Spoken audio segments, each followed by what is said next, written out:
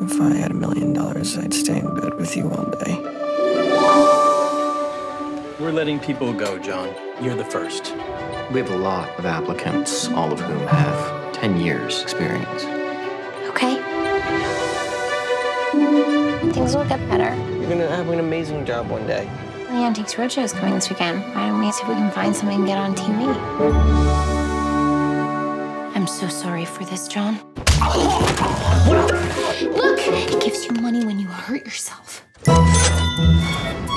We have to promise to stop before it gets out of control. We make our million and we stop. I'll take the full Brazilian. I want it all gone.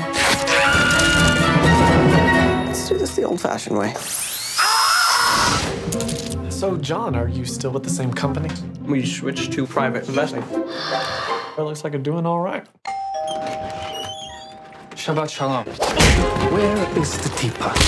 Our grandmother risked her life to save that teapot during the Holocaust. We have to find out what this thing is. The teapot possesses extraordinary power. You are in grave danger. Most people kill themselves for decades and get nowhere. It's a gift from the gods. We said we'd stop when it got out of hand. I'd say it's out of hand. Now tell You're turning evil. There is nothing evil about wanting more. happened to your face? Your eyes like hanging out? I'm fine. Whatever it is that's going on, it's not worth it. Don't say we didn't warn you.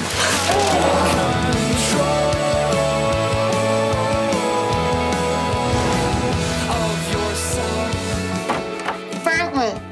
What sort of dog do you two have? I heard him howling last night.